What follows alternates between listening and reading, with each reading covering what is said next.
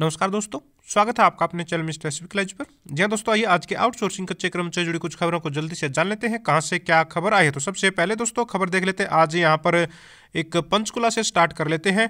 HSVP अधिकारियों के साथ यूनियन नेताओं ने की है बैठक। कई मांगों पर बनी है सहमति। जी हाँ दोस्तों, यहाँ पर हरियाणा संयुक्त कर्मचारी मंच से संबंधित हुडा जन स्वास्थ्य कर्मचारी जो यूनियन है, उसकी दोस्तों, यहाँ पर बैठक हुई है, जिसमें कई मांगों पर सहमति बनती हुई नज़र आई है, जिसमें यहाँ पर बताया गया है, पंचकुला के तहत ठेकेदारी प्रथा पर लगे सभी कच्चे सफ़ाई कर्मचारियों को चालू टेंडर समाप्ति के बाद कौशल रोज़गार निगम में समायोजित करने का वादा किया गया है। जी हाँ दोस्तों, यहाँ पर कौशल रोज़गार निगम में शामिल करने पर सहमति बनी है, अगर इनका जब टेंडर समाप्त हो जाएगा। दूसरी तरफ़ यहाँ पर सोनीपत के एजेंसी वर्करों को वर्ष 2010 से 2013 का ईपीएफ ईएसआई देने बारे अफसरों ने बताया है कि इस मामले में कोर्ट केस चल रहा है। कोर्ट का जो भी फैसला आएगा, उसको लागू किया जाएगा। तो इस तरह की कई मांगों पर यहाँ पर सहमति बनती हुई नज़र आई है। और यहाँ पर जो है, कच्चे और पक्के दोनों ही कर्मचारी एक साथ यहाँ पर मिले थे और दोनों की ही मांगों का यहाँ पर जो है समाधान करने की कोशिश की गई। दोनों की मांगों को, दोस्तों, उठाया गया था। आगे देख लीजिए, यहाँ पर सिरसा से अपडेट है। हड़ताल और रैली के लिए सभी ब्लॉकों में करे तैयारी। धर्मवीर सिंह भोगाट। जी हाँ दोस्तों सर्व कर्मचारी संघ हरियाणा जिला सिरसा की बैठक का दोस्तों आयोजन हुआ है, जिसमें यहाँ पर यह निर्णय लिया गया है कि सत्रह मार्च 2024 से 20 अप्रैल तक ब्लॉकों में विस्तृत कन्वेंशन करवाना, जिला कार्यकारिणी का विस्तार करने के साथ साथ अन्य अध्यक्षों की भी नियुक्ति करना, यानी कि यहाँ पर ये जो है, अपने जो है संगठन का विस्तार भी करेंगे और जो है ब्लॉकों में है प्रदर्शन करने की तैयारी करेंगे। ब्लॉक स्तर पर यहाँ पर इन्होंने क्या कुछ बताया है, क्या कुछ अपने मुद्दे रखे हैं वो देख लेते हैं। यहाँ पर बताया गया है, कर्मचारियों की मांग व मुद्दों को लेकर संघर्ष करना होगा। कौशल रोज़गार निगम, आठवें वेतन आयोग और वेतन विसंगतियों पर सरकार की सोच सकारात्मक नहीं है। विभाग बचेंगे या नहीं, इसके लिए भी संघर्ष करना होगा। सरकार किसी भी विभाग को कभी भी बंद कर सकती है। तो यहाँ पर कर्मचारी अपनी जो है भविष्य को लेकर अनिश्चित है। इस वजह से यहाँ पर जो है इन्होंने प्रदर्शन करने के लिए ऐलान किया और इसकी तैयारियों में लग जाए, इस तरह का आह्वान यहाँ पर किया गया है। महेंद्रगढ़ से अपडेट आई हुई है। ग्रामीण सफ़ाई कर्मचारी ने एसडीएम को ज्ञापन देकर बेगार के काम पर रोक लगाने की उठाई है मांग। जी हाँ दोस्तों, ग्रामीण सफ़ाई कर्मचारियों ने अपनी मांगों को लेकर सीएम के नाम लिखा एक ज्ञापन एसडीएम संजीव कुमार को सौंपा है, जिसमें बेगार प्रथा पर दोस्तों जो है इनको काम करवाने का इन्होंने विरोध किया है। इन्होंने बताया है कि ग्रामीण सफ़ाई कर्मचारियों का व ईएसआई वर्ष 2020 से वेतन से कट रहा है, जिसका लाभ अधिकारी सही तरीके से नहीं दे रहे हैं। बोझा ढोने के लिए, यानी कि इनका, इन्होंने यहाँ पर यह बताया है कि इनको जो सामान वगैरह है, वो कई बार उपलब्ध तो करवा दिया जाता है लेकिन उसकी मरम्मत के लिए इनको जो है पैसे उपलब्ध नहीं करवाए जाते, भत्ता उपलब्ध नहीं करवाया जाता, जिससे अपने काम को ये अच्छे से नहीं कर पाते, सुचारू रूप से नहीं कर पाते हैं। और इनकी जो अतिरिक्त ड्यूटी लगाई जाती है, उससे भी ये नाराज़ हैं, जैसा कि अब इलेक्शन टाइम में इन्हें जो है ले जाया जाता है और जो चुनावी मशीन वगैरह होते हैं, उनके बक्से उठाने के लिए इन पर दबाव डाला जाता है।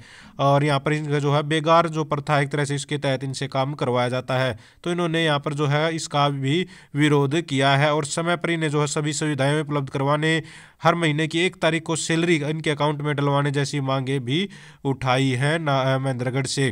तो यहाँ पर महेंद्रगढ़ से ही अपडेट है दोस्तों। यहाँ पर भी कर्मचारी हैं जो ग्रामीण सफ़ाई कर्मचारी, ग्रामीण चौकीदार और जो ग्रामीण ट्यूबल ऑपरेटर हैं, इन सभी ने मिलकर यहाँ पर दोस्तों प्रदर्शन किया है और डीसी के नाम इन्होंने यहाँ पर ज्ञापन सौंपा है। तो इनकी भी लगभग वही जो है परेशानियाँ हैं, वही जो है अधिकारी इनकी ध्यान से नहीं सुनते हैं और मांगे अगर सुन भी लेते हैं तो उन पर ध्यान नहीं देते हैं, उनका समाधान नहीं करते हैं। यहाँ पर इन्होंने भी बताया है किस तरह से इनके साथ भी पीएफ और ईएसआई से संबंधित जो है समस्याएँ चली रहती हैं, लेकिन ज्ञापन दे देते हैं, आश्वासन मिल जाता है, लेकिन समाधान नहीं करवाया जाता। तो इन्होंने क्या कुछ बताया है? देख लीजिए, यहाँ पर चार महीने से वेतन भी नहीं मिला है। अब बताइए, चार चार महीने की सैलरी नहीं मिलेगी तो कैसे काम चलेगा, कैसे घर चलेगा? कनीना ब्लॉक के ग्रामीण चौकीदार, ग्रामीण सफ़ाई कर्मचारी और ग्रामीण ट्यूबल ऑपरेटरों को पिछले चार माह से वेतन नहीं मिला है, जिसे इन्हें जो आर्थिक तंगी का सामना करना पड़ रहा है। तो कर्मचारी परेशान है, लेकिन सुनवाई कहीं पर भी नहीं हो रही है। हासी बरवाला से अपडेट आ रही है। साथियों, पंद्रह मार्च को मनरेगा मजदूर प्रदर्शन कर देंगे ज्ञापन। तो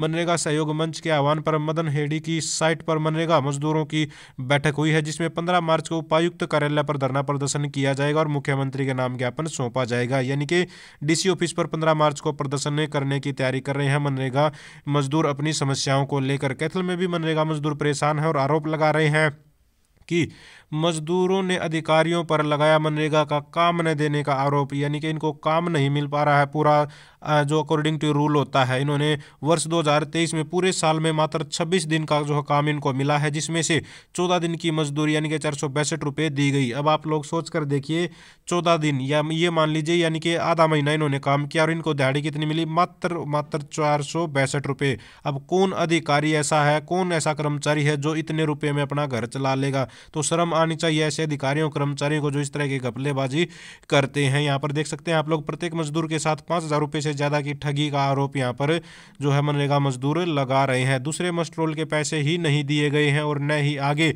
मांगने पर काम दिया जा रहा है। तो यहाँ पर बार बार जो है दफ्तरों के चक्कर लगाए जा रहे हैं जो है प्रदर्शन किया जा रहा है, सीएम विंडो पर भी इन्होंने शिकायत दी है। तो कर्मचारी हैं या फिर मनरेगा मजदूर हैं सरकार कोई भी आले साथियों, आप लोग देख पाएँगे कि जो गरीब आदमी है वो हमेशा इसी तरह से परेशान रहता है। महेंद्रगढ़ से अपडेट ही यहाँ पर दी हुई है। मिड डे मील वर्कर ने की न्यूनतम वेतन छब्बीस हज़ार रुपये करने की मांग तो यहाँ पर छब्बीस हज़ार रुपये मिड डे मील कर्मचारी मांग रही हैं और सरकारी कर्मचारी का दर्जा भी ये देने की मांग कर रही हैं। पैंसठ साल रिटायरमेंट आयु इनकी होनी चाहिए। अगर कोई स्कूल आपस में मर्ज कर दिया जाता है तो मिड डे मील कर्मचारी को हटाने की बजाय उनको दूसरे स्कूलों में समायोजित किया जाए, यानी कि उनकी नौकरी को बचा लिया जाए, इस तरह की मांग इन्होंने यहाँ पर की है। क्योंकि सरकार ने बहुत सारे स्कूल हैं जो मर्ज कर दिए थे, आपस में जोड़ दिए थे, जहाँ पर बच्चों की संख्या कम थी तो स्कूल जो है, कुछ बंद हो गए। बंद होने की वजह से समस्या क्या आई कि वहाँ पर जो कच्चे कर्मचारी थे like mid day meal worker तो मिड डे मील वर्कर को घर बैठा दिया गया, जिससे उनकी नौकरी समाप्त हो गई। तो ये चाहते हैं कि स्कूल मर्ज होने पर इनको घर न बिठाया जाए, बल्कि जो है, इन्हें दूसरे स्कूल में काम दे दिया जाए। चंडीगढ़ से अपडेट देख लीजिए, सभी विभागों को शुक्रवार तक स्थायी भर्ती नियमों का ड्राफ्ट तैयार करने के निर्देश।